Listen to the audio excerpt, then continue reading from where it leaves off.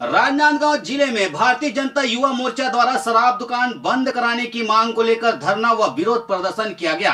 वहीं इस धरना प्रदर्शन में भारी संख्या में भारतीय जनता युवा मोर्चा के कार्यकर्ता शराब दुकान के बाहर प्रदेश सरकार के खिलाफ जमकर नारा लगाते हुए एसडीएम को ज्ञापन सौंपा।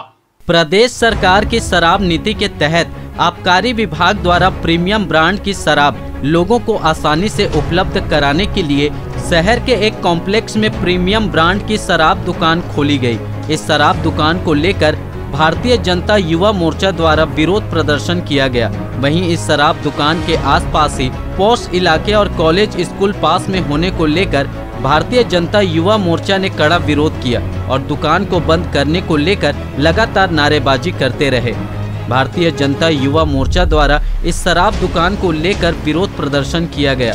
वहीं भारतीय जनता युवा मोर्चा द्वारा धरना प्रदर्शन के बाद एसडीएम को ज्ञापन देकर दो दिन का अल्टीमेटम दिया गया है। दो दिन बाद यदि यहाँ से शराब दुकान नहीं हटाई गई तो भारतीय जनता युवा मोर्चा द्वारा उग्र प्रदर्शन की चेतावनी दी गई है। वहीं शराब दुकान के पास ही कुछ दूरी पर महिला कॉलेज स्कूल, हॉस्टल सहित अन्य पोस्ट इलाके हैं। इस इलाके में शराब दुकान के खुलने को लेकर इसका विरोध जताया गया।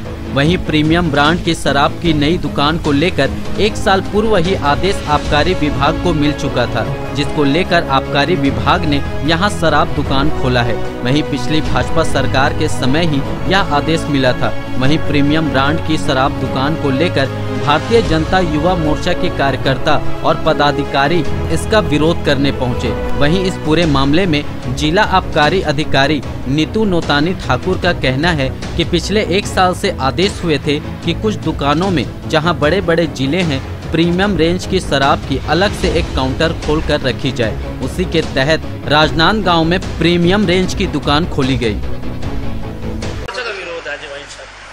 ये पिछले एक साल से ये आदेश हुए थे कि कुछ दुकानों में जहाँ बड़े बड़े ज़िले हैं, वहाँ पे प्रीमियम रेंज की शराब जो है वो अलग से एक काउंटर खोल के रखी जाए। उसके तहत ही राजनांदगांव में आज प्रीमियम वाइन शॉप को हम लोगों ने ओपन किया था, जिसके तहत बीजेपी वालों ने जो है वो धरना प्रदर्शन किया हुआ है। मैम कौस इलाके में जो है खोला गया स्कूल भी, कॉलेज भी है?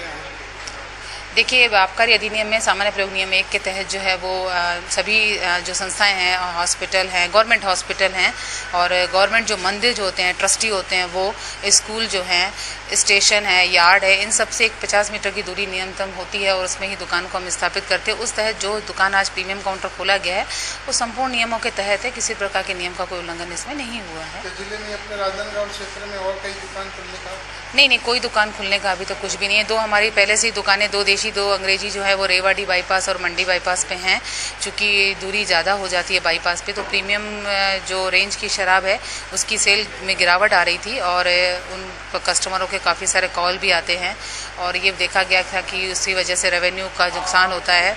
चूँकि राजनांदगांव महाराष्ट्र और मध्य प्रदेश से लगा हुआ है तो ऐसी स्थिति बनती है शायद कि ये इस तरह की जो रेंज है यदि हमारे दुकानों में ईजिली अवेलेबल नहीं होगी कस्टमर को तो बाहर से स्मगलिंग होती है। इसीलिए इस वाइन शॉप को ये सोच के खोला गया है जिसमें लोगों को नकली शराब भी ना मिले बाहर से और रेवेन्यू का कोई नुकसान भी ना हो करके। खुलने का विरोध कर रही है। क्या क्या हाँ, आबकारी विभाग द्वारा परि- प्रीमियम काउंटर खोला गया है जो कि आबकारी अधिनियम के तहत ही ओपन किया गया है और इस पर भाजपा युवा मोर्चा को थोड़ा सा ऑब्जेक्शन है जिस पर उन्होंने ज्ञापन भी सौंपा है।